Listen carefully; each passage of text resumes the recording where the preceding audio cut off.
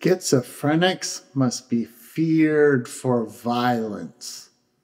Mass murderers must be crazy.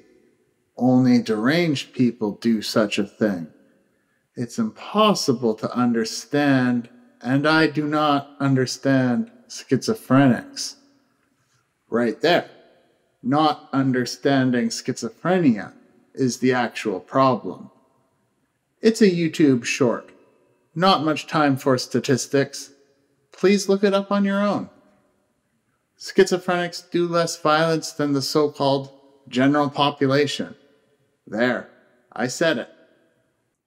Thanks, BC Schizophrenia Society, for running the Bust a Myth contest.